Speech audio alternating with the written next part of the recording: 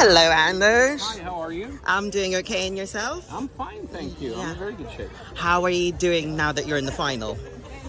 I actually said to some reporter before that I was eh, before I was scared and nervous, Yeah. and now I'm just nervous. Yeah. So it's a different kind of um, um, feeling. Yes. Um, though um, it's been a little bit like I'm been feeling a little bit in my throat because of Yeah.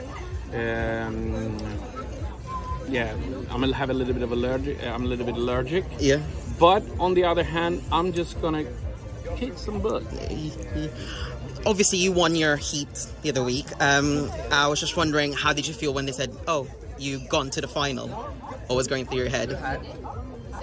To be frank, it was like this: that just before I, went up on the stage, there was a little kid saying like, "Why? Who do you who do you vote for?" And they say Anders Bagge, and then they said, "Why?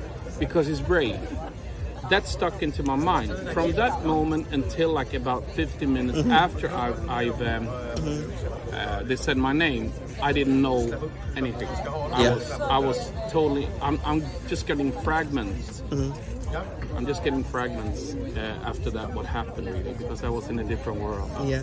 Okay, now, now you're in the final. You, obviously, you're one of the favorites to win it and go to potentially go to Eurovision. Yes. Um, what are your thoughts on that? Because Eurovision is such a big competition, much bigger than Idol that you judge on. Yeah, I've never been to Italy, so that's one thing.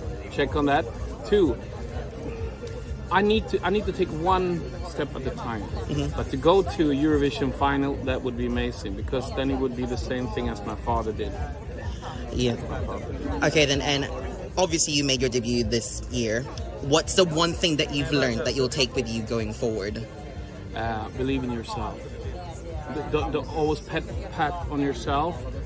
Um, don't don't underestimate your own talents. Yes.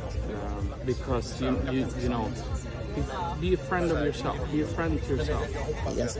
And finally, is there anything you want to say to the international viewers who are going to be watching this Saturday? okay um what should i say to you guys um uh, can you can you please uh, how, what i want to say to them if oh, on saturdays okay um my my why i'm uh, competing in this tele- in this show is because Uh, I've been dreaming about it for 25 years and I never dared. So why I'm singing this, why I'm doing this, is because that people need to start believe in their in themselves. That, that's the only thing. And don't, you know. So I hope I can be a um, a. Um, hope I can uh, send a message that exactly what I said. Believe in yourself.